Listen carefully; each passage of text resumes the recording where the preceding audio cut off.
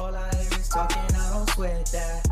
If they don't trust me either, I respect that. If she need down the ride, oh, I bet that. Ooh, I slide for my people, don't forget that.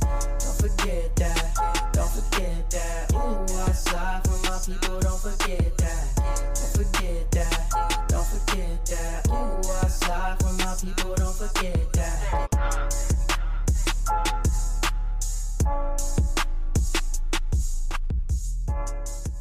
Here's an EV you probably haven't seen in person yet.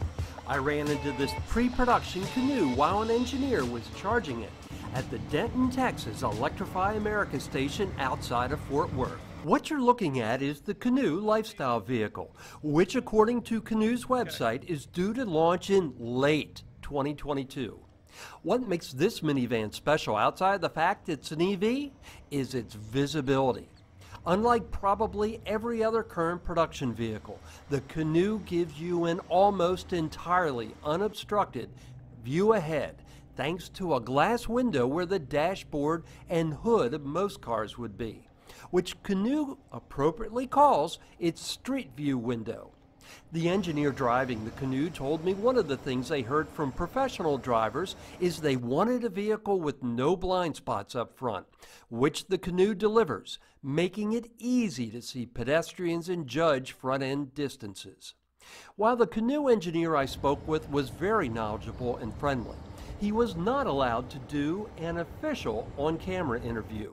But Canoo did give him permission to give me a quick interior tour and a brief ride.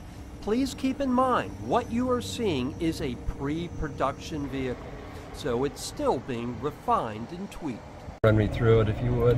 Lights and brightness, like headlights on, headlights off, you have automatic high beams, fog lamps, interior lights, pegboard lights, you have different color options, you have climate, airflow intensity, cabin protection, you have Bluetooth, you have Wi-Fi, here is the music, uh, here is phone. Android Auto and uh, Apple CarPlay.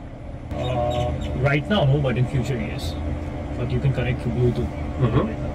Uh, the future plan is to have like Android Auto and Apple CarPlay. While many of the controls are located within the touchscreen, there are also separate dual zone climate controls in the center of the dashboard strip.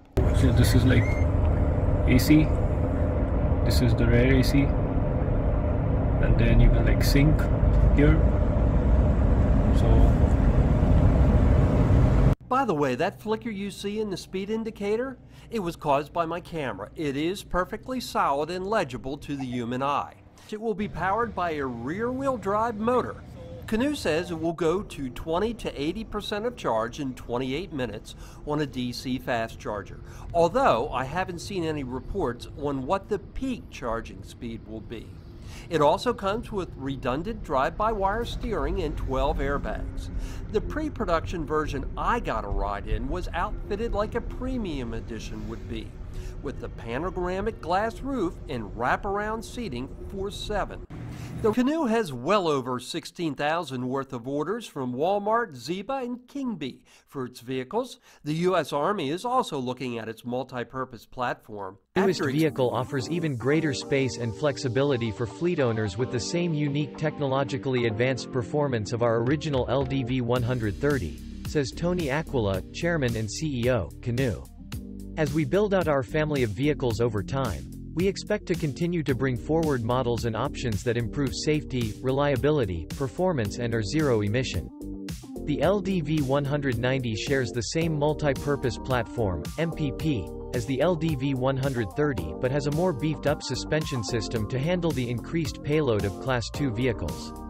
Drivers will notice it features the same dynamic handling and performance as the LDV 130, courtesy of Canoo's patented steering-by-wire system. Despite its increased payload load capacity and body length, the wheelbase and low center of gravity is maintained from the LDV 130.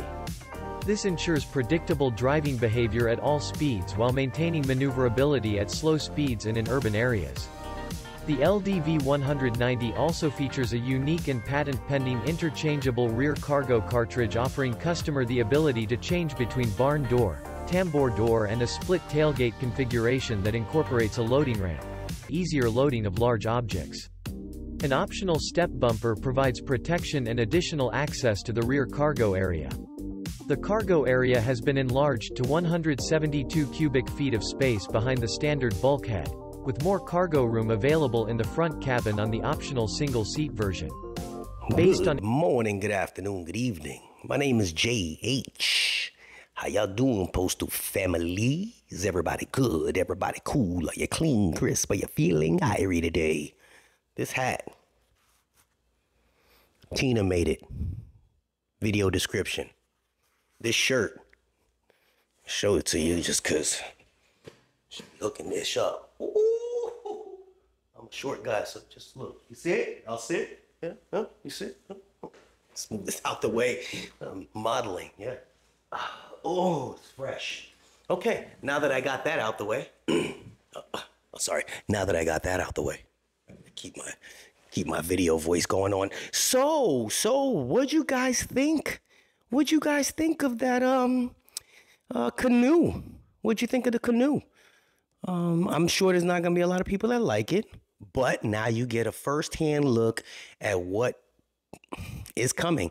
So from what I what I gathered, there was six that they picked up. Somebody wrote that in the comments. I tell you guys, I read every comment, and um, that was six that they gave the post office to start with. And there's going to be a ton more. Like I said before, the facility is being built in Oklahoma City. So it's not if, it's when they get, you know, distributed. Somebody say, you saying the word wrong. Distributed.